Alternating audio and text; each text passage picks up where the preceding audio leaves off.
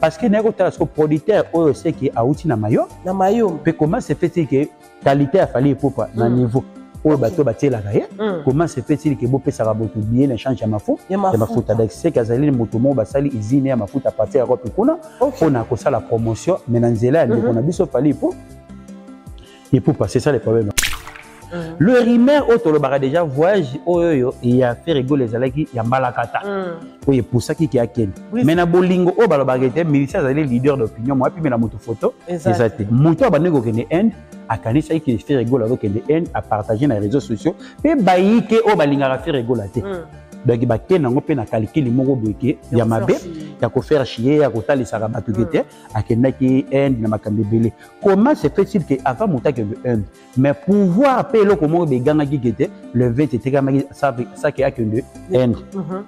billet le 21 econfirme ke saki akende inde après avoir arena ya genève oyo mm. eye na mboka ya bacharlie malula mm. bafiston malula immortel baambassadeur remo singa baeme kacherel oyo bazali kuna bavie na biso balili meya vie na ngai julue jean didier oyo baza na, na suisse wana babenge tokozonga nsima te okay. na batrésor efaso na bahéritier ivari mm. bayi bakozonga nsima te bango mpe okay. baolakisa bata paris biso mpe tokotikala nsima te europe union tozalaka ndenge moko tolakisa mpe biso mpe tozalaka mpe na, na suisse oyo ya motu yake yango wana ntango bato bake na makambo ebele ebele bakomi koluka bakompare fere na kani west mm -hmm. na bato mosusu mm -hmm. mais nzoka nde kani west azalaki na kote ya vente okay.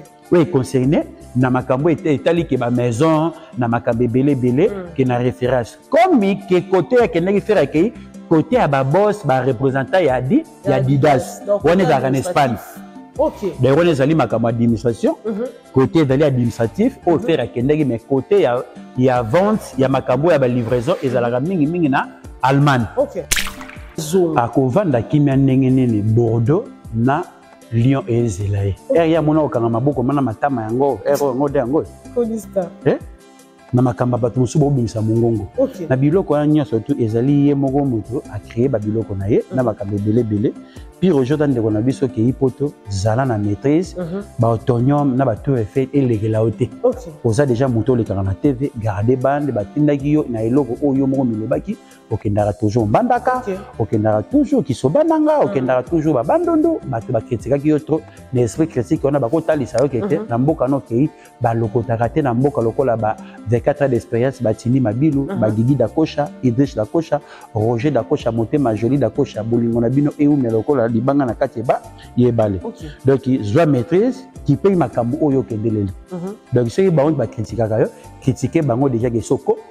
okomaki mm -hmm. ndeko na biso alexis wechi mm -hmm. tala makambo ya bordeaux soki bino ma botekisaka babiye mm -hmm. ntango ya mosala na bino nde yango yango eza te orchestre musicien asala baeffort asala bamakambo ebele ebele na mhm. suka bino bolobaka te toluka mbongo ya frais de mi c'est ça le problème toza na mposa babiya bordeaux esila babiye mpe ya lyon bimisa biso na distraction héritier akalikelaka yo te mhm. motu moko te akokutanake yo kutukutu créela kutu kofiolo mideloko asali te ke mhm. asali ya mbongo na liba na libata sikoyo yebisa biso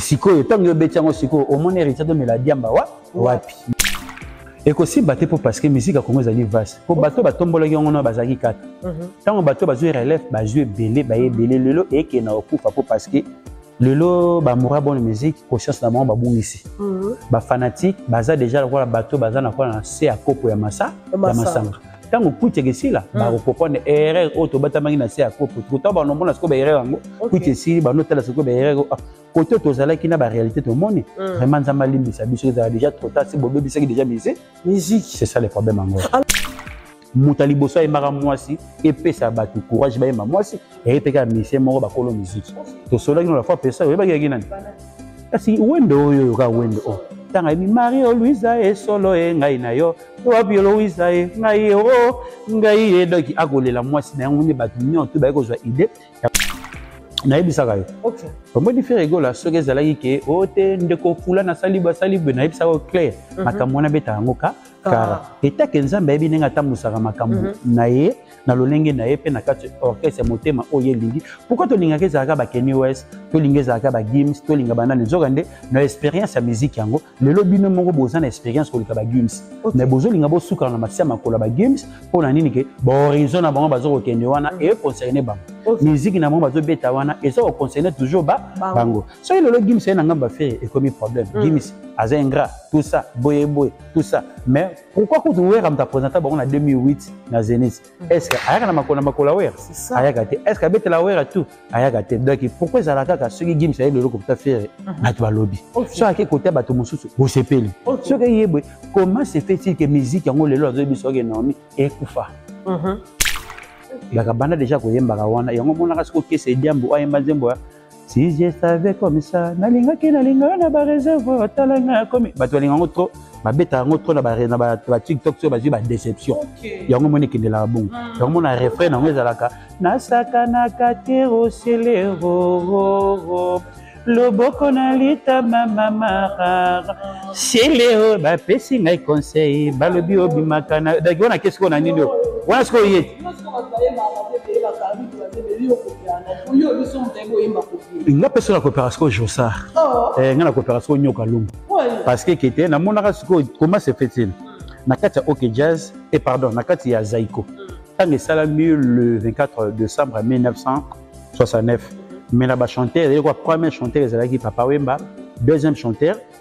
nyoka longo troisième ozwi evoloko ozwi bajina efonge na makambo aparsa vie ozwi nani oyo mavuela somo vie bozi ayaki après na bato oyo nyonso to bayaki après mais bimo mbale abanda kobeta batterie mais azalaki meilleur compositeur na kati ya nini mais voix ya zaiko wana nyoka longo ayebaki kolengela voix na ye kosécurise yango mpe korassure bato kete tempo oyo eketikala toujours ya ngai moko mais bavoix oyo eza bapapa oyo bekendaki ebele ebele yango monaka orchestre nini to ya clan bokozala esika moko mais lobi plus tard ntango bokokabwana bokoyeba ndenge nini ya kopanza beteni na biteni na motu na motu akozala na esika na ye moto ayaka na kosala no tese ayelaka na voyage te ntango bato bazwaka ata naza na visa seka na passeport na ngai mosala mosala bino na ndenge elongobani eza te yango d'autre part à l'époque bato ebele bandaki kokondane fali ipupa na ngai ye moko na mitie hmm. aza kopesa bamisie chance te mais ntango ye moko azomonaka ete incompétence ezali ntango mosusu na live na bandeko oyo tika ngai moko namipanzana mhm. napasuka lokola caméléon ndenge azolinga mwana abima hmm. donc ngai moko nazoka chance siko ntango azokomona yango siko etalisa bato nini hmm. bawario nde bazwa leta ya conscience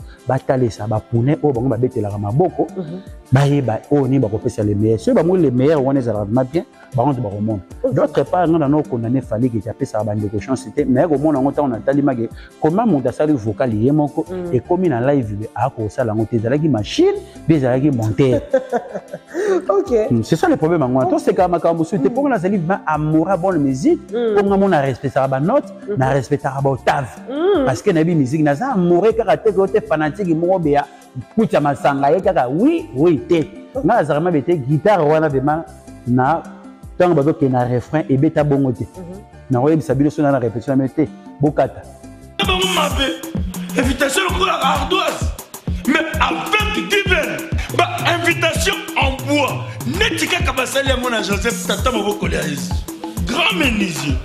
Ba invitation en carton na ba fololo nango jardin de den. Invitation ya boye bongo ya mukolo pe tilata mabe. Maison Given abosani bino te. Acheli bino pe promotion ngole ya pamba. Maison Given bali ngambo vous êtes trop amoureux du pays wow given vous exagérez on n'aime pas le pays comme ça on n'aime pas le pays comme ça vous nous suivez à travers le monde entier nous sommes au Congo et Sengo Télévision aujourd'hui dans Miyaba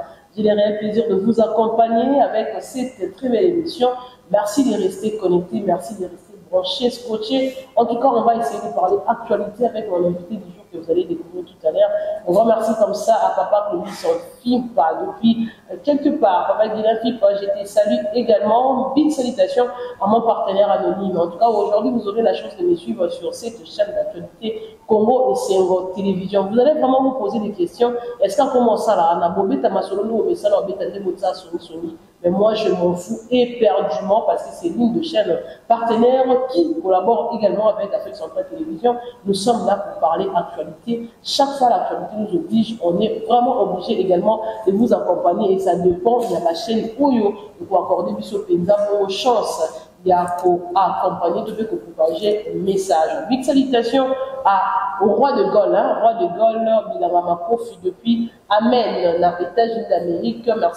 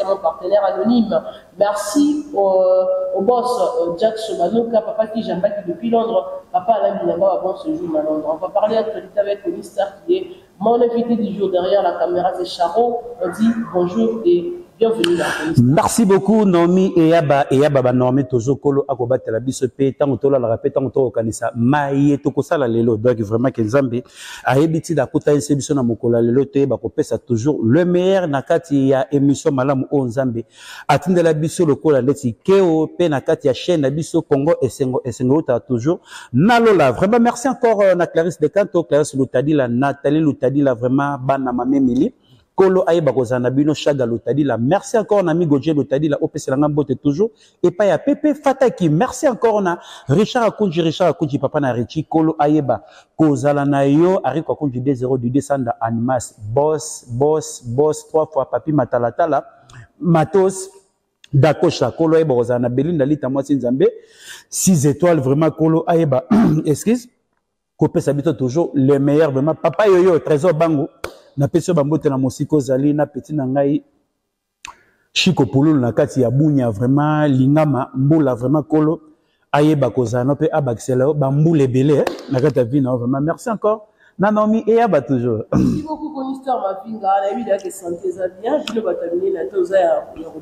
mpe monene oyo eza ya stress naomi eyaba parce que banyongo depuis naya kinshasa bato baza na banyongo na ngai nayebisa yo sikoyo faye na condame eyeli ngai sikoyo na ndenge ya mune ya monene soki nazwi bambongo na ngai sante na ngai ezonga normal na ndenge nazalaka na ngai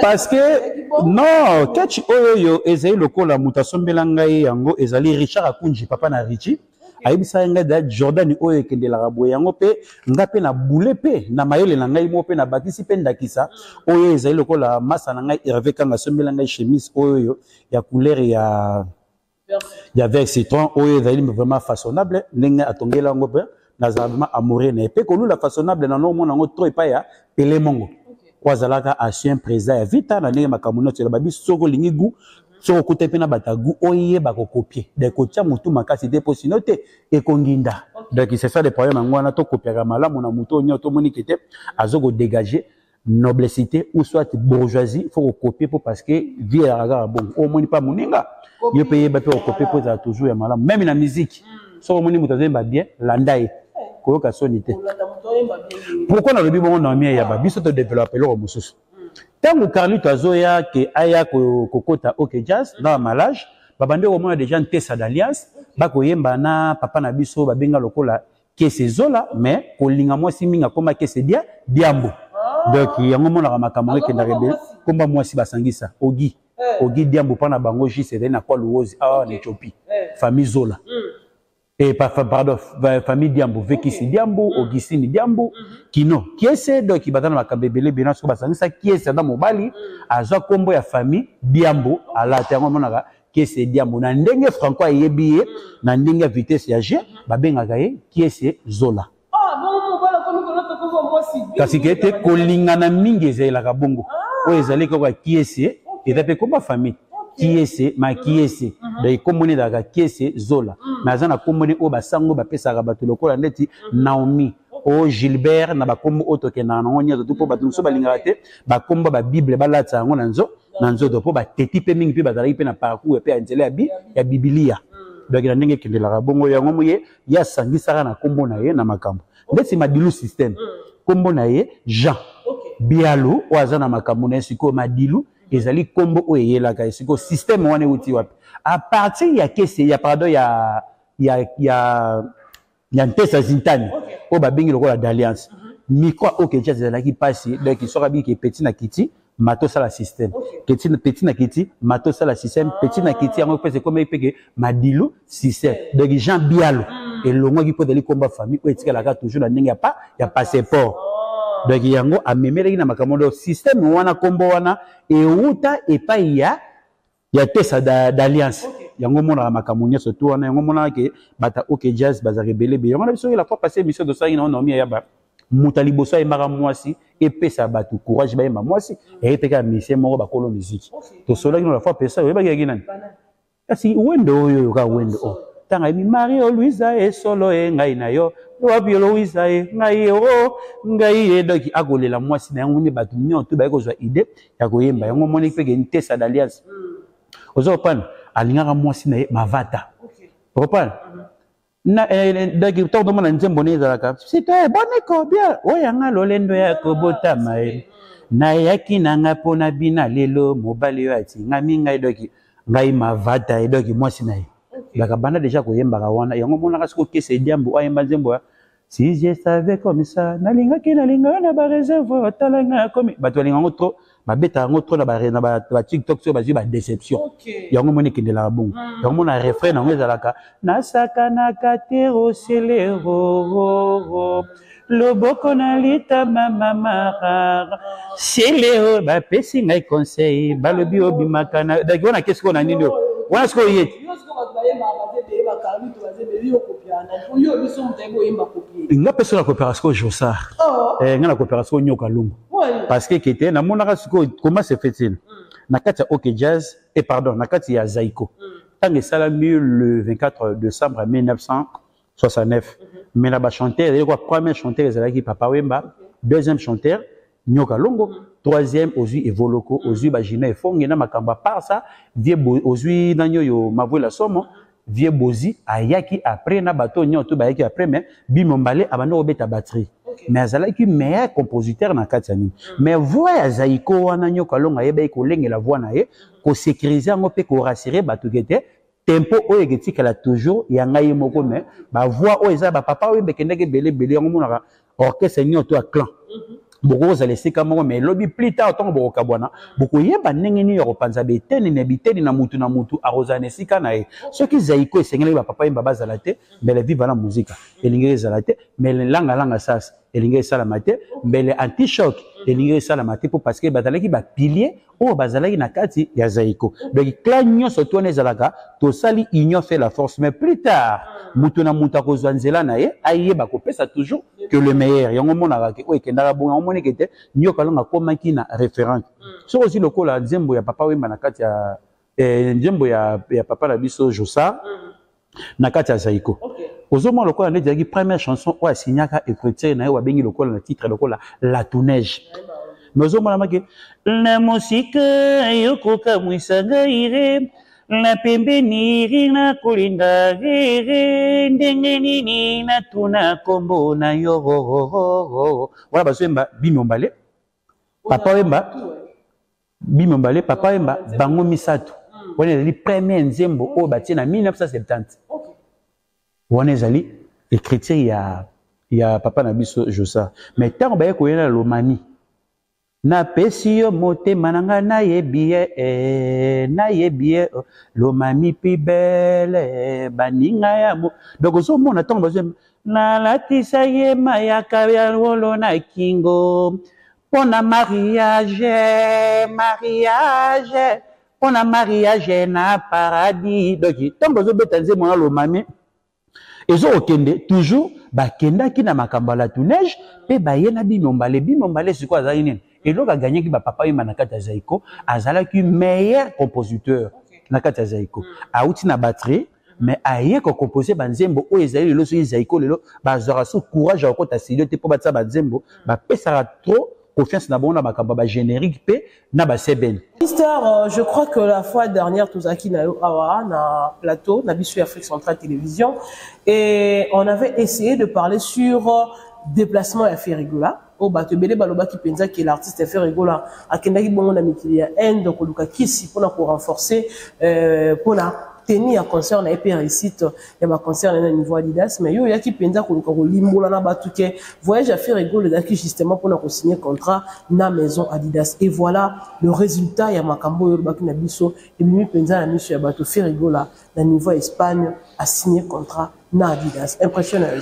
donc différence pe lelo que le rumeur oyo yo communauté congolaise emekaka toujours kosalaka berere yango nalobaka ke toujours bacerveau ya communauté na biso ekomi kolemba mpo parceke mabe eleki kokanisa mpe bato mabe mpe eh eleki eloko ya sincerité na vie na biso ekendaka bien te ndeko na biso lokola ndeti jani fai hmm. lelo atiki biso mpo hmm. verité moto esali nini moto ebomi ye okay. parce que ke soki azalaki na ignorance ke azalaki na makambo moto aone sincérité moto esali nini ke ebomi mpo parce que aleki na média okay. alobi ke te labrine azali mwasi oyo aza kokadre kaka me mwasi nde mazalama na kati ya kinshasa eh, sikoyo biso sikoyo mpasi omoi espèce butu na biso elembaka mm. makambo ndeko alomowei ava kufa alobaki tokangaki yango te okay. tokomi koakize mwasi mm. ntango soki mwasi mpe akomi kosala mpe bakanai na par rapport ya makambo oyo maloba oyo mobali oyo tokozala na ye koma sepetike makila na ngai esopani trois fois mpo na mm. moto nalalaka na ye toyadi ya na confiance mpe nazomona yeke papa bana na ngai ke mm-hmm. mobali na ngai comme partenaire na ngai mais makambo nini aza kotraite ngai mpeza mpe so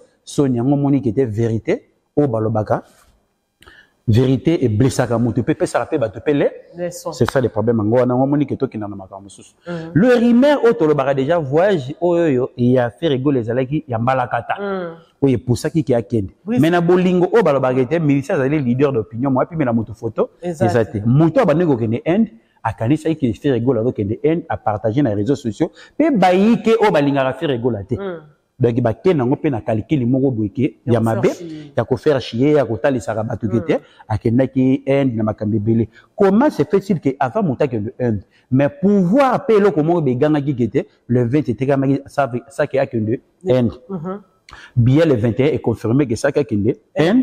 Après avoir Arena ya Genève mm. oyo eye na mboka ya ba Charlie Malula mm. ba Fiston Malula immortel ba mm. ambassadeur Raymond Singa okay. ba Aimé Cacherel oyo bazali kuna ba vie na biso ba Lili Meya vie na ngai julue jean didier oyo baza na, na suisse wana babenge tokozonga nsima te okay. na batrésor efaso na bahéritier ivari mm. bayi bakozonga nsima te bango mpe okay. baolakisa bata paris biso mpe tokotikala nsima te europe union te ezalaka ndenge moko tolakisa mpe biso mpe tozalaka mpe na, na suisse oyo ya motu yake yango wana ntango bato bake na makambo ebele ebele bakomi koluka bacompare fere na kani west mm -hmm. na bato mosusu mm -hmm. mais nzoka nde kani west azalaki na kote ya vente okay. oyo econcerne na makambo etali ke bamaison na makambo ebele ebele mm. ke na référence komi ke kote oyo akendaki fere akei kote ya babos barepresentant ya di ya didas wana ezalaka na espagne donc wana ezali makambo ya administration mhm. kote ezali administratif oyo mhm. fere akendaki mais kote ya vente ya makambo ya balivraison ezalaka mingimingi na Allemagne okay. oyo ekonsernaki makambo ebele ebele mm. ntango mm. ndeko akei kuna amei kosigne mokolo ete bokomi kobimisa mm. ke référence place kani wes azalaki mm -hmm. na oyo ndeko mosusu batie ti na bareseau sociaux mpo na la comparaison ne pas raison oyo okay. bozoluka bomemelaka bato oyo ezalaki ya motu ya fo toyeba deja na kati ya kinshasa toza na province capitale oyo province ya, ya ye politique oyo mm -hmm. tozali na province eko économique eh, de capitale économique na mm -hmm. na politique hmm, donc ndenge ekendelaka makambo nyonso to donc place oyo ekendelaki place ya kei vraiment place ebata mosolo oyo badirigeaka côté ya vente mhm. oyo nyonso ezali na makambo oyo nyonso to place ya balivraison mhm. ezalaka na allemagne yango tomekaki kotalisaka déjà bato avant hmm. non mais ya banga alingaka kozwaka information na source mpo nazalaka zoba te oyo akokopana ngai te mpo parce que ke alinga mpe aide musicien te oyo hmm. tokolika tosolola mpo na makambo econcerne ke musicien ntango ngai nayaki mpe kokutana mpe nome yaba naza na makambo oyo tokosola mpo na makambo econcerne makambo ya voyage ya ya tere egola bato ebele mpe batikalaki na kati ya kinshasa mhm. bakokenda barumeur yango kaka inde inde inde nzoka nde inde ezali place oyo basalaka bamédicament oyo bato babengaka effet placebo mhm. place oyo nyonso basalaka makambo ebele ebele baindustrie oyo eza na makambo eza na makambo esalaka makambo ya bakisi oyo eza na makambo ebele ebele oyo bato basalani bamelaka po kisi oyo akomprime akomela bato bakomisi yango lokola kisi moko fi physique oyo ekenda na makambo ebele mai na mm. compétition ya bale omona inde ekatanaka etikali oyo ekeboye eye te oyo eza na makambo ebele ebele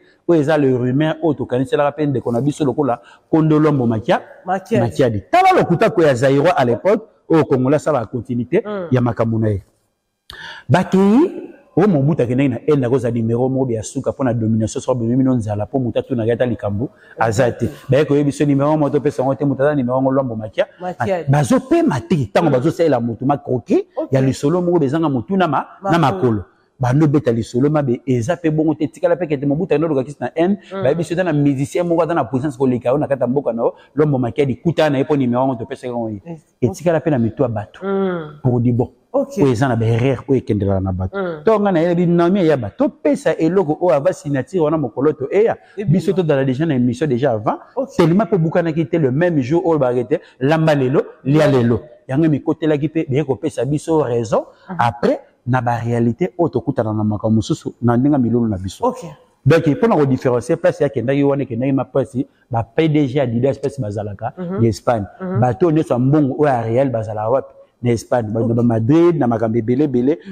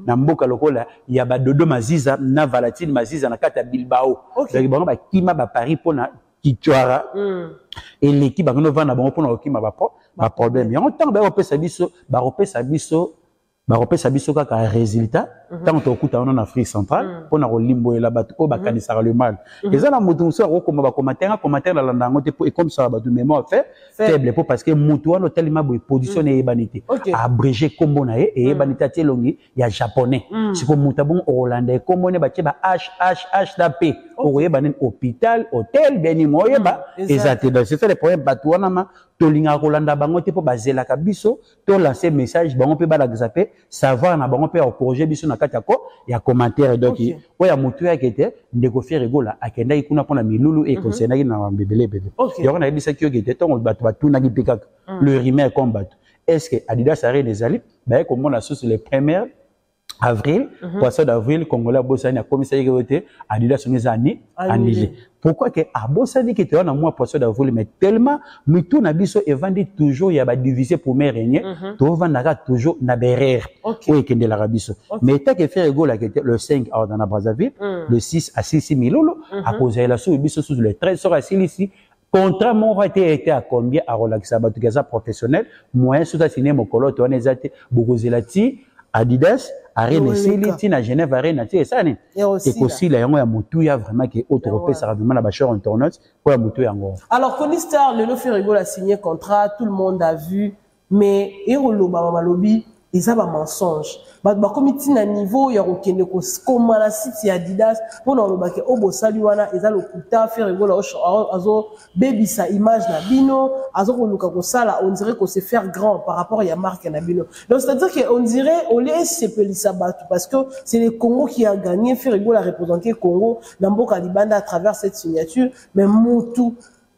aza kosepela te bona bango il fallait pas faire pourquoi ça d'autre part toza na bakalikili omonaka toza na vie ya kosaleka mm. réalité ekozala ntango mosusu mese lobutin okay. akotanda biloko na ye meme ngai aza na sisi nanga lobutin na guna gucci atindeli ngai biloko oyo mpo naza meilleur client na bango okay. parce que tomilataka ntango toza na bomoi parce que ntango jésus christ amonaka zache na nzete eloko mm -hmm. etindaka ye ke tokolia na ndako na ezalaki baaccessoire okay. yango moni baaccessoire ezalaka bien mm. na vie kia mutu pourquoi biso tokoma kolinga kaka ke te puissance ya musicien soki ezolakisa capacité mpe na makambo nini ndenge tokendele bato bakolinga te tosalaka émission naomi ya babanda na basa banzete mhm. ti toyaka partout tosololaka moto alingaka yo te bakoluka échec na yo bato basepelaka no te bakotela opose tabosani okweya oyo ya motuya ezalaki soki ezalaki bato mosusu mpe epesa bato motema pa pasi siko motema pasi epesamaka bongo te pourkui mm. nalobi bongo mhm. nayebisaka yo omoni fere egola soki ezalaki ke o oh, te ndeko fula nasali basali boye nayebisaka yo claire mhm. makambo wana beta yango ka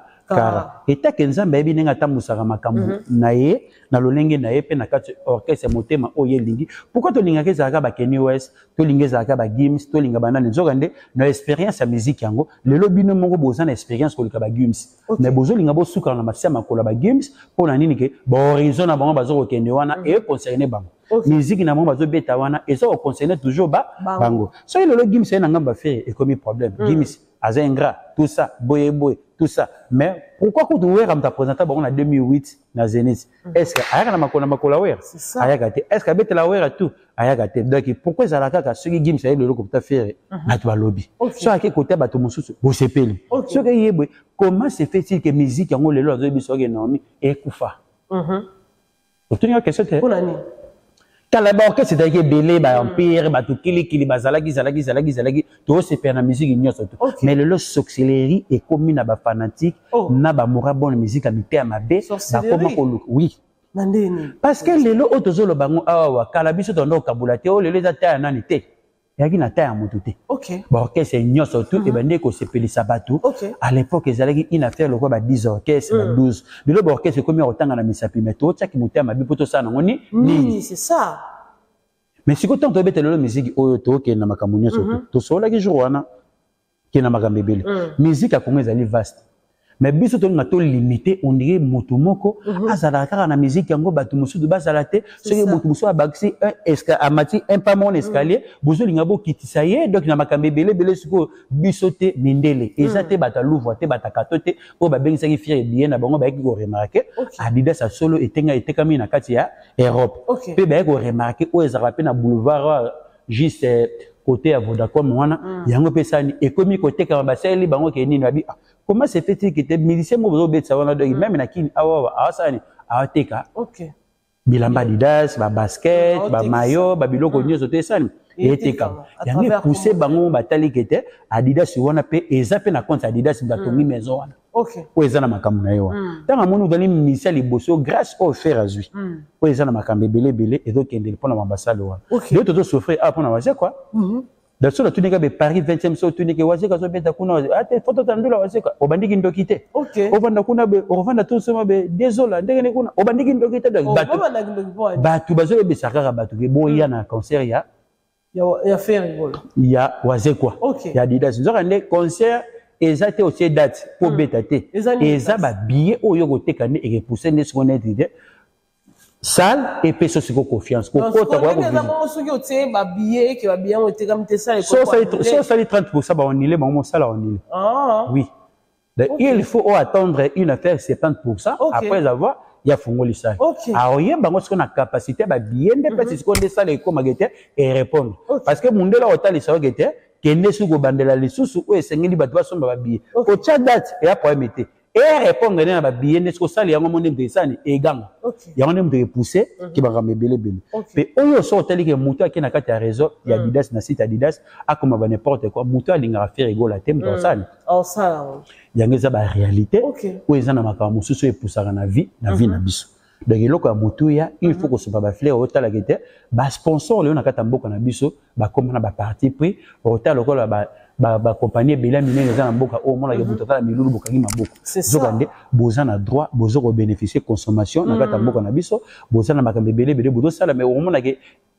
eloko moko ya monene omona bokomi kokabola bilongi mpo na nini bato oyo baengage na kati ya basociété wana bakomi na baparti pris na mhm. bacommission na bango donc ya mpasi yango wana eloko mosusu tovanda anoni ya mm.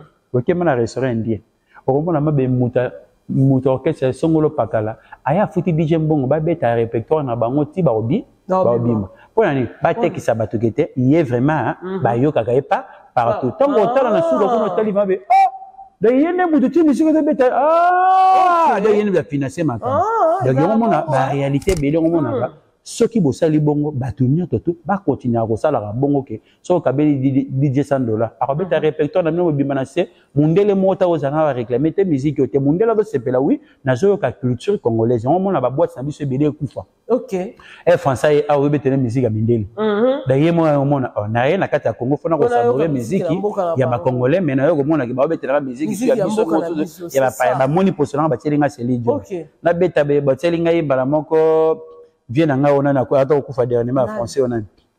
journal de okay. reprendre bakotielo mm. journal de bakotielo bato kilikili nzoka mm -hmm. nde ezokendela bongo te okay. donc toyeba kopesa le meilleur na miziki na biso mm -hmm. tosoutenir miziki na biso ekende toujours na ndenge bamikolo oyo batikelaki yango mpo bato bazwa mpe sentiment ya kokende na miziki lelo okay. tokende mwana moto mosusu akomi kolemba miziki a ah, miziki yango ndenge ezokende nde mm. nakaniselaki mpe ndenge na kalikilaki makambo yango yango te donc ya mpasi oyo toomona na miziki yango wana mhm. donc naloba yango eloko moko naomi eya bamoto alingaka o te mwasi ayelo commentaire malamu na vina eza te alors conister lelo oyo so bazwi charge ya miziki batikeli yango miziki moko est ce que babiso tokofandaka liso mpo toya kobeta lisolo ya miziki ekosimba te mpo parceke miziki ya kongo ezali vase mpo bato batombolaki yango na bazalaki kata mhm. ntango bato bazwi relève bazwi ebele baye mhm. ebele lelo ekenda kokufa mpo parceke lelo ba mora bonne musique conscience na bango babungisi mm -hmm. ba fanatique baza deja lokola bato baza na kola na se ya kopo ya masa ya masanga ntango kwiti ekesila mm. bakokopone erreur oyo tobatamaki na se ya kopo tokotaa banomona sikoyo baerreur yango kwiti esili banotala sikoyo baerreur ah, kote tozalaki na barealité tomoni mm. vraiment nzambe alimbisa biso ezala deja trop tard si bobebisaki deja musée musique c'est ça le problème yango alors conister mavinga ba concert eza ebele na niveau ya poto ferrego aza ba concert na ba café musique fali poupe également aza ba concert na ba lyon na ba bordeaux mais bato baotuna mituna comment est ce que l'artiste fali akomi kosala échange ya babillet na équivalence na bido ya mafuta mbila wana ekomi politiki nini où est-ce que l'artiste Fally Ipupa veut nous amener c'est ça la question d'autre part euh, c'est que quelque chose là tant ce producteur wana mm. azali ma producteur wa ebi mayombe bien ayebi mama m'appelle Lisette très bien mpo na makambo nga première fois namona yango oh. na makambo ya liboso na makambo ya liboso producteur abetisaki ndeko na biso fali pupa mm. basalaki makambo wana te oyo eye sekatama moto aza na izini ya mafuta na mayo na mayombe ah.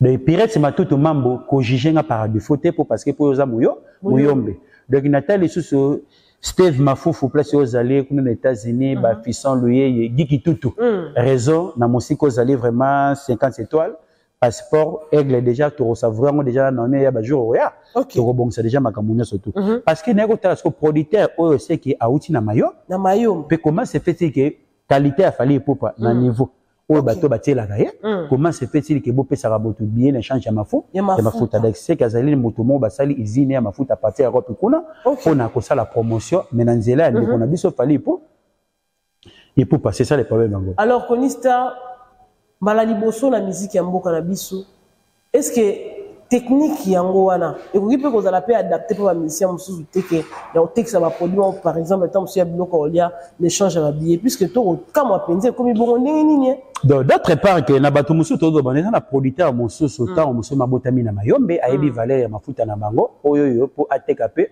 eloko bango bamesani ntango ya kosala hmm. parce que banzete ya palmier donc eza ebele ebele na mayombe wana yango omonaka tout moment moye esila eza te na kulungongo bayebi ke te alcool de bon goût bakosala whisky yango omonaka bato ebele ebele bamela ba whisky oyo mm. ewutaka nango na kulungo kulungongo donc c'est ça le problème yango wana etake mpe moto wana mpe soki awuti mpe kete ayebi ke nawuti ma na nsela mm. donc mafuta oyo oyo fo tosala yango boye ntango mosusu mpo na izini oyo mpe ntango mosusu mpe esalemi na bordeaux uso esalemi na allemagne ngano moye toyeba parce que producteur yango soki toyebaki nkombo na ye mm. po parce que ezalaka mavinga bazombo bazali mavinga mm. bayombe mpe basani donc c'est ça le problème yango wana mpona kodifférencie mpe makambo mosusu mpe mm-hmm. kiyango wana donaa commentaire onga na kobakisa makuna na mamuna te mais parce que euh, tozomona neti ka baosala mpe publicité te tomonaki baarene ebetamaka a ah, misato toyokaki bamakelelo oyo bandaki kotiama mais fali mpo batie baarene ya lyon ti ba concert na ba niveau ba Bordeaux mais makelele eza kopesama te batu na ye baza beaucoup plus focalisé sur ba concert ya Ferre Gola au ba critiquer donc distraction nde yango wana yango mona ba communicateur ba communicatrice na engageaki bango pona sala bango musala ba sala nga musala ya pasi nde yango hmm. to subir okay. donc nzoka nde bavanda na makambo wana po parce que soki ekomi na ta wana baaka na ba 30 baa na ba 15 conseil ekozala nini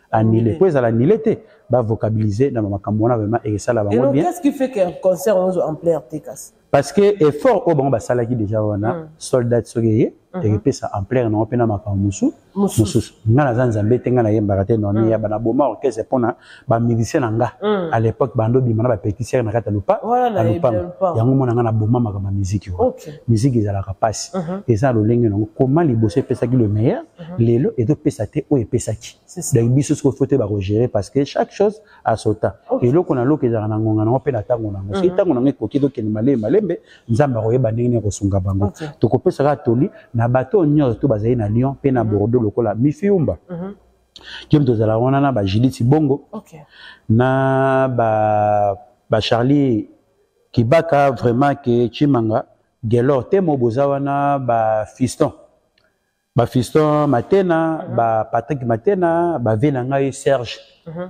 serge fataki boza wana bino nyo tudoki oyo bozala wana ba militant mokanya motema ya tanya bino to boza wana boyeba toyeba eza nini ezoleka kuna bino toza na lyon na bino bato boza na bordeaux bokoyeba ndenge nini ezoleka mpo boyeba kosomba babiye mm. parce que kete aza ministre monene ya mboka mpo toyeba eloko nyonso to fekendela na lolenge olango so totali lisusu mayo jaune mm. nayebi kosala mpe diske na opela no oyo ozalaka na lyon mayo jaune kota makambo yango oyeba ko eh, mayo jaune sikoyo kende sikoyo nene akobimisa batibi moko moko akobimisa ah. nyonso toteke ebele ebele ebele bima lokola yoyebi kaka ndenge mm. vante yango ekoma na ndenge azunguluki donc toyeba ndenge nini makambo ekende me mayo jaune azwi mpe message na yo ayebi kobima mpo asali mpe fitiringa monene na luciana de mingongo mm. toyebi ke nyonso to esani ekenda vraimen bien donc il faut tobeta kaka sete na bato wana balamuka mm-hmm. bato oyo bazokota vis a vis na makambo ya fere mm-hmm. ata bazoya na bacritique na critique yana ezo pesa un plus na ba calcul nango okay. donc c'est ça le problème donc to timba na un na des retard mm -hmm. bango ba vocabiliser na makambo ebele ebele ba lukela faire échec mm -hmm. mais on faire ado ke na donc okay. akangi silence na ye pona bango bazo ata mm -hmm. ba communicateur o bazara pas ndeko na biso fali pour mm -hmm. bosa il a fait publicité à l'occasion de de, de rire okay. donc bo vocabiliser na makambo concert à Bordeaux mm -hmm. to yeba epesa 60% epesa 70% so to kendeleka ba concert ezala ni annuler c'est ça le problème yango Alexis Wetshi atie Heritier Watanabe en garde.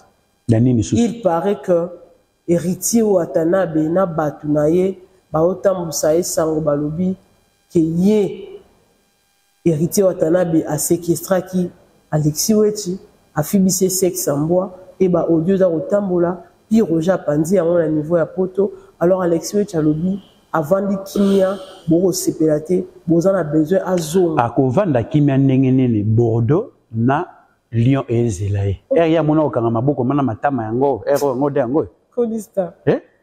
na makambo ya bato mosusu baobimisa mongongo okay. na biloko wana nyonso tu ezali ye moko moto acree babiloko na ye mm -hmm. na mhm. makambo ebele ebele pire ojota ndeko na biso kei poto zala na maîtrise mm -hmm. baotonium na batour efel elekela yo te okay. oza deja moto olekaka na tv garde bande batindaki yo na eloko oyo yo moko milobaki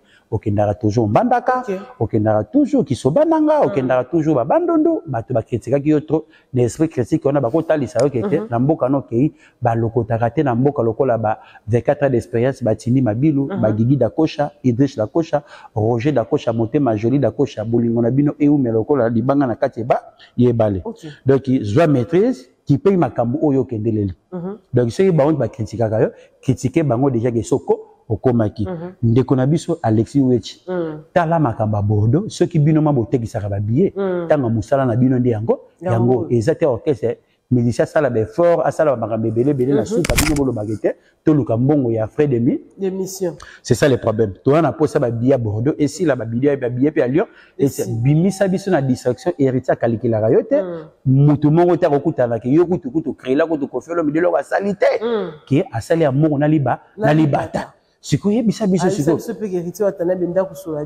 sikoyo eh, ntango yo obeti yango sikoyo omoni héritier tomela diamba wa wapi mais yo confirme na makambo mpo osepelisa orchestre oyo oh, oza ozalaka bolakisa biso sikoyo kisinjor mm. oyo oh, nyonso to bosa wana bino bolobi ke te boteka yo epesela biso ke lisolo ke moto ateka droit chemin ezalaka yo soki yo te me droit chemin etekama te sikoyo tozozela wana babiya bordeaux mm. na babiye ya, ya lyon donc ngai na nomi ya bato okomi kozwaka ta tolobela yango yo ozomi sozo alekisi oyo te nakangi monoko mm. okanga monoko etakekeye bozala milulu Mhm. boza na milulu ya minene oyo eza vraimen na bordo na lio mhm. mpe basali yango eza soki ya ba 13 000 soki ya ba 14 mhm. 000 oyo bino bokobeta yo komi na ntango okanga minoko ntango bato balukaka ebiye tekama bobima na distraction wana kokipe makambo ya ferigola te donc bino nde bokomatisa nde putulu na makambo ya didas arena ya ferigo bolobake bakozwa bavisa te bavise nini boloba asala boye te esalami Mhm. bokende kuna kete akendaki kuna eza makambo ya soni bokopoisuivre ye na adidas mhm. bato bazala na mundele akota na makambo ya batete na buzoba mpo asombela moto biye na première classe mpo bakende osine mokoloto adidas aza mpe zoba te oyo eza allemagne ezalaka na espagne soki mhm. boyebi te bino nde moto bakolukake te babenda bino matoi kete makambo bozosala ke boyebi te oyo apasi yango wana ekomi na ntanga babiye yokangi monoko fongola monoko bordeaux babiye sila ya lion esala nini esila biso tokomi osala marketing na place na bino mm. sikoyo bino sikoyo chantage yango bino bosalaka na komba bato kaka na komba bato okende yango ti wa wapi ya mpasi yango conister malai malembe tozokende na biso na koshite na émission na biso en tout cas motuna ye kotunama mpe ye kosala mwa mpasi nalandaki meme bandeko ya ngambo ya ba warrior après kotala concert ya fali pupa oyo elekaki na niveau ya brazzaville bato baleli balobi performance vocale eza te na kati ya orchestre ya Fally Ipupa surtout epai ya ba musiciens na ye ba bi performance vocale eza te Koni Star Mavinga pourquoi ba musiciens ya Fally bakokoka kopesa le meilleur na bango te en tant que ba musiciens mingi mingi ka ba émission tolobaka moto ntango ayaka kosalaka test eloko ya liboso ezalaka nano ekotelaka moto ezali mosa mosala so ekomi miziki ekomi pire petit na vie na ye eyebaka ke mozo so moto ya malamu na kati ya orchestre ekozala te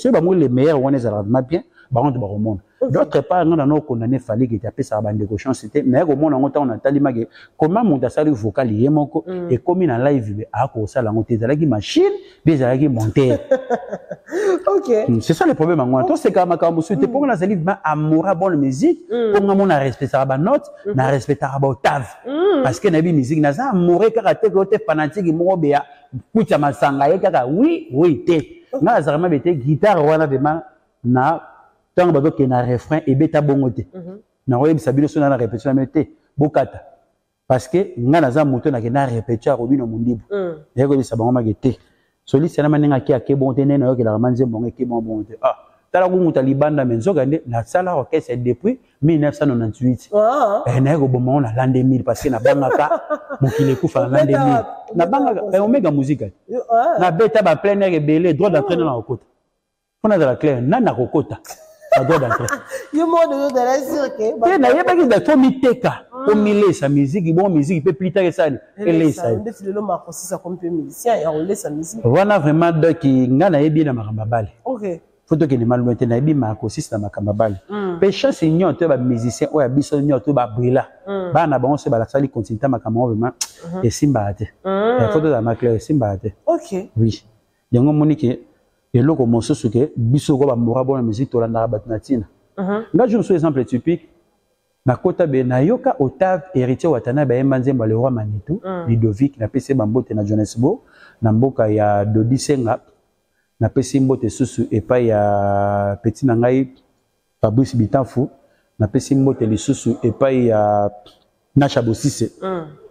ndenge makambo nyonso ezalaka wana ata mokili tu malebo betrams bato oyo nyonso tu nazala na bango na Johannesburg napesi bino tu bambote na mosika ozali pourkui nalobi bongo naomi eyaba mm. omoni eloko nyonso tu na vie ekendaka na mwa mpasi na yango moko boye okay. oyo obenge makambo ya miziki oyo mm.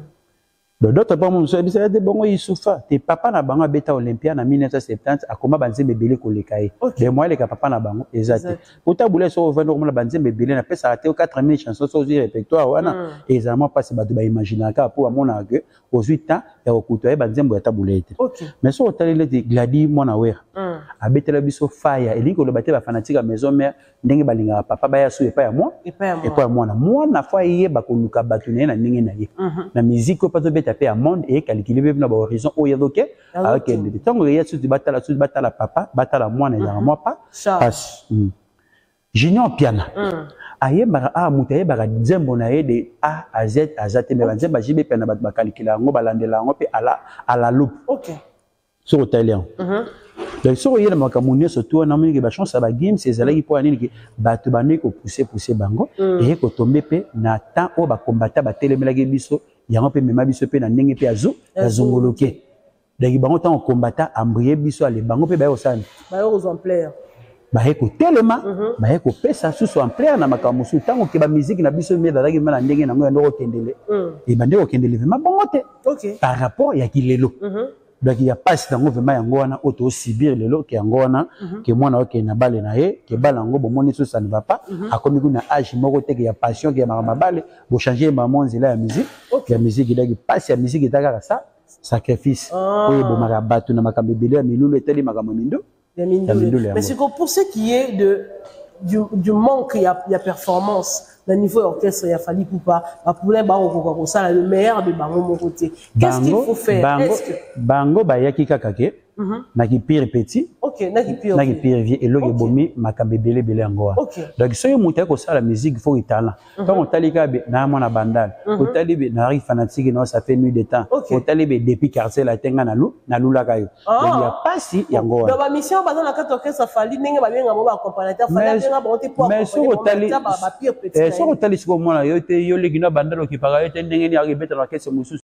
tobandi eloko nyonso ezalaka tese pourkui tolobi lelo bongo hmm. bato ebele bazalaka makambo mosusu omoni pourkui ntango maison mare ezalaki musicien asali tese asali basolo vocal makambo ebele ebele après ekomi guerre ya chant hmm. improvisation oyo atake oyo atake oyo atake oyo atake hmm. yango omonaka ntango ebola te akosala tese ntango akutana na fer akutana mpe na moto azila dragon question c'est réponse mm. ebolo te balingi bayoka yo olobi na bana la samba mm -hmm. yango nayoki mpo ani batali après avoir fait richard de poule boni mm -hmm. te nayoki ye mm -hmm.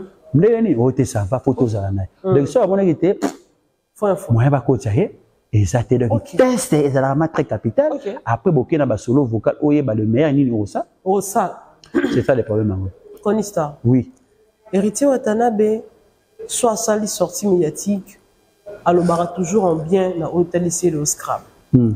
mais celo scram devant migue niema bapose question sur héritier watanabe alobi basololaka te babenganaka te batuni oyoki chemin de la gloire alobi bango bayokaka bato te ngai nakende koyoka bango mpo na ye aza masa tozalaka na ye ya olonge maison mare esila esila Guerre yango wana ezo kokende wapi? Nga siko makambo wana siko nalanda yango te. Pona nini? Voyage moko beseli yo kaka be ah navandi boye héritier watana bakoti na maison adidas ayeli nga baba ba basket na ba maillot biloko nyonso to ayeli ngai okay. donc elakisi ke tovandaki na ye pamba te siko da tout ça nga na otala sikoyo ndenge bavandaka ndako moko okay. bapasa babo moma mm -hmm. oyo le meilleur nga natalaka kaka na ebandeli ya vie mm -hmm. oyo natalaka lelo ke moto akomi na boye oyo akomi na boye baturaima vraiment nga esalaka nga bien te okay. mpo toda ma claire mm. parce que naotalaka babo moment oyo bavandi na oyo baosala lelo eza moke mm -hmm. le meilleur bapesaki na bato na bolingo wana elekaki ebele etalisaki mpe bato grandeur ndenge nini bato bakoki kovivre oyo mpe mhm. bato oyo bakokope mpeke te bazali bato ya solo okay. nayebisaka yo deja naomi eyaba omoni bata wenge mm. moto mosusu akotikela kokopane ngai te na bato oyo bakomaka bacommentaire selon makanisi na bango nakojuge bango te par defaut okay. ezali baréflexion na bango mm -hmm. na oyo ngai nazo raisonne oyo nayebi makambo na suki okay. héritier avandi epai ya c'est le après papa c'est le ako vanda pa fiere na bo na bo marché siko place na bo marché place nga na tana siko bolingo wana siko na tala te na ba tiraillement ba ba coup franc oyo na makambo ebele ebele hmm. lelo tomona mpe ke héritier ntango mpe avandi makambo mpe azwi ndako na pate avandaki mpe na ba na bato okay. donc bolamu balakisi ye ngai mpe na kozongisa yango mpe toujours epai ya bato ezalaki deja bolingo mm. mais ntango otali podium awenge wana à l'époque mm. otalaki babi ndombe na fiere ekoya elekaka te mm. eh, oyo sikoyo bato sikoyo oyo batalaka biso na bacommentaire ekomi ntango mm. akosa ya kosakola okay. ovanda be jide te na lacoste ekoya esalani elekaka te elekaka te ajani azalaki sikoyo osanfu na bato tu mm -hmm. okomonaka etango mosusu ke te Euh, Serge Mabiala aza na ye du na makambo neo to makambo mhm. seni etali te me bazalaki na podium wana bazobina bwende bwende balusie bazoseka toyika micro esili mm. moto ya koze aza te kolo orkestre yebisaki bango ranki na bino bosala yango liba libanda me na kati ya podium na ngai bolakisa biso boli bolingo yango moni makambo oyo nyonso tozokende donc batiraima bato ya wenge toyebaki yango ça peut nuit de temps ndenge bande kofonctionne hmm. ntango ekoma mpe guerre ekomaki lokola neti selio hmm. na makambo ekomiki ya frontiment ya bilamba hmm.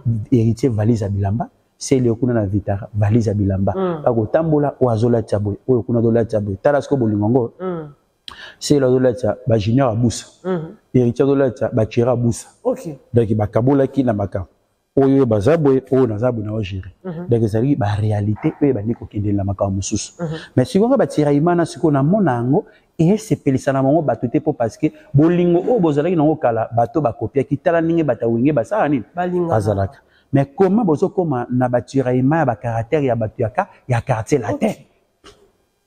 Hum, ya bata carton ete baza na bolingo. Pota ya bekusa na nani basololaka te. Siko oyo awenge ezalaki vraiment ke na podium hmm. na batiraillement libanda mais na podium bozoseka.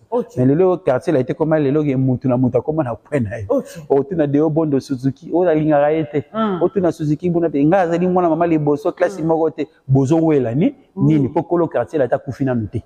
Siko bowela nini? Siko ngai atalaka bolingo ebandaka deja na debut. Mhm. natalaka te batiraima mpo parce que tokomi na moment ya baflatere eh. mm. oyo eza na moto mosusu ete nayeya na likambo oyo mpo epesa boye mhm. nayeya boye mpo tozongisa boye d'autre part tootala kaka te bolingo oyo bolakisaki biso na ebandeli oyo ekomi na suka tootala mosusu te balobi mikolo héritier watana baza kosakola bolamu mpo na fali parce que azoluka fitiring question ya suka mpo tokabwa vraiment mpo epesa ye nini ntango asalaka diske na ye basala fitiring te tosolola nano ye kuta asali na gali apesi gali makambo mhm. ebeti bato nyonso to bazosala siko aluka fitiringi moko boye aya vie na biso bozi mm. oyo fali ipupa bayembi na bozi mm. ememi vie bozi wa eh, siko oyo bato bazodautre part siko yango toyebi soki banzembo wana yaki bawalingonda mm. bafifi mofude na ba kofi alibaba okay. oyo bato bayembaka yango mm. mais taki bozwi ka tibi ya kala mm. etombola bato lelo nzoka nde vie fala asala écriture ya sika bayeba kopesa le meilleur ntango okay. mosusu mpe ndeko fali epupa abike na nosepela nango mm. tosala ka remix wana okay. ememi biso wa wapi yango bato bazokanisela bolamu mosusu ezalaka nango kaka boye omoni d'autre part mm. makambo elekaka na miso ya bato boye okay. na oyo elekaka na telefone moya biso tokopana leta te nalobaka eloko moko mm-hmm. lelo mm -hmm. Journaliste soko oyambi Ferre Gola, tuna ye makambo e concerne makambo ya ko ya concert. Soko oyambi Heritier Watanabe, tuna ye makambo e concerne makambo ya chemin de, de la gloire. Soko oyambi ndeko na biso Fally Ipupa, tuna ye makambo ya concert ya Bordeaux na concert ya na, na concert ya ya, Lion. ya lion na mafuta mbila eh, oyo eza ya motuya yango wana okay. mais ntango bino botunaka bango to otunaka bakestion ya bato le bato ngai komopesa faute ya bapanzi sango mm. koma carnet de, carnet de décharge mm, oyo eh, babe yango ni eh, carnet de charge mm. oyo okosineke nayebi awa moto abanda be parcours na ezalaka nao ndenge nini ba information ya ba musicien pesi bawuta na source na bango nanu moto atuna aza te botunaka place kaka place esengo mm. oyo ba place na pasi wana bozalaka na banani botunaka te mm. polemique si polemique ya mm. pasi nde te yango wana mais héritier certainement aza na besoin bakoti origine international bakotisa moto international oyo edependaka papa oyo bakendaka nango sukasuka alembaka te nani yango aza na international nayebisaka yo soki obeta na international ye na egypte mm. beta kuna batala yo okay. algérie mm. beta kuna batala yo jérusalem jérusalem kutu babeta kuna ezalaka bafranco okay. okay. opan mm. oteli egypte ozwi tunisie mm. trois pays wana place moto aconfirme eza international yango wana hmm. ntango obetaka deja na brazzaville eza international te c'est ça le problème yango wana yango nayebi so epeke biloko nyonso te esengaka teke te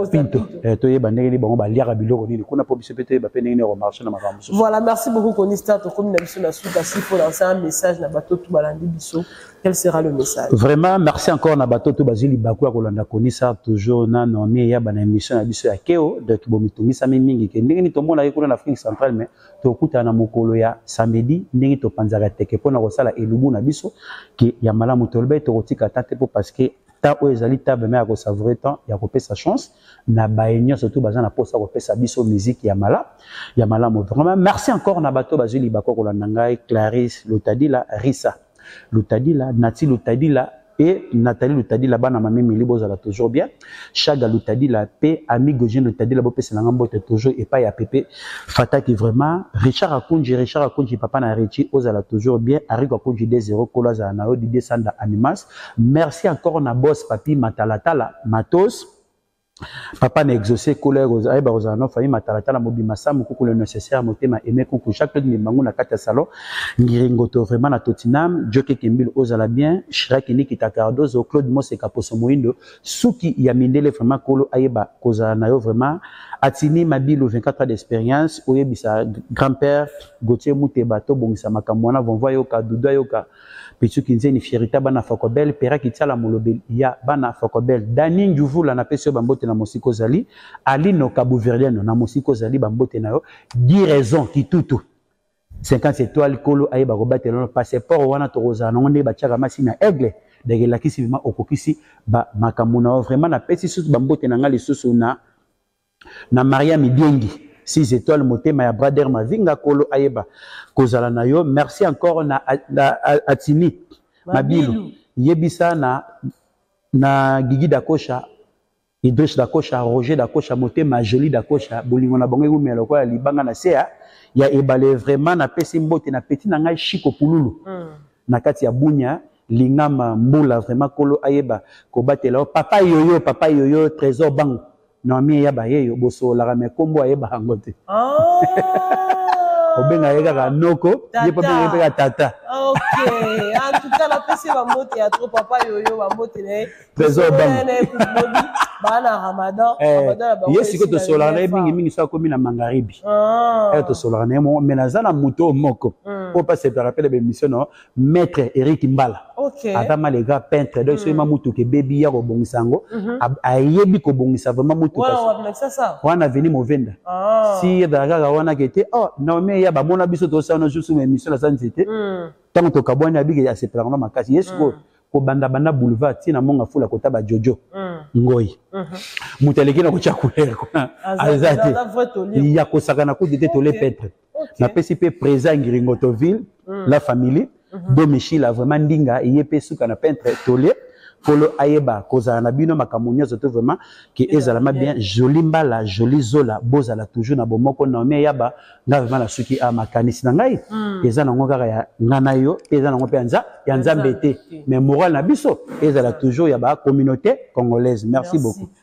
Merci beaucoup Connie Star, merci na bino tout bolandaki biso sur Congo Esengo Télévision. Na pesi un grand merci na papa Clovis Fimpa depuis quelque part mo bana maman Doris hein. Ambote na oya wana. Un grand merci na bato tout baningaka Naomi Yaba, roi de Gaulle bilanga makofi. Eh, hey, Naomi Yaba.